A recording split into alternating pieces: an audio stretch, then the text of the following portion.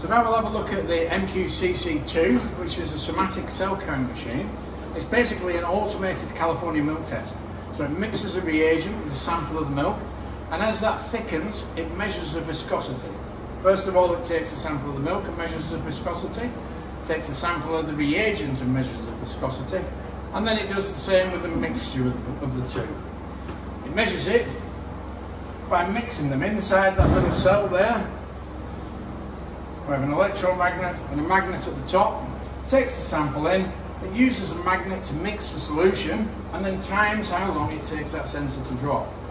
Now importantly it has to know whether there's reagent or milk in there and it uses two sensors at the top to do that.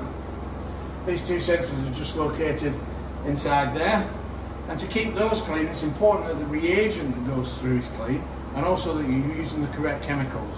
It washes via the milk line, so as it, the robots are doing a hot wash, it takes hot water and chemical in to wash that cell inside. And one thing that you can do to help is always use mains water to mix your reagent. When it's run out and you've got that tiny bit left in the bottle, throw that away, rinse the inside of the bottle and refill with fresh liquid. When you come to refill it, I always like to take this off, just bleed through some reagent and then put it back on and that just prevents any airlocks in the system.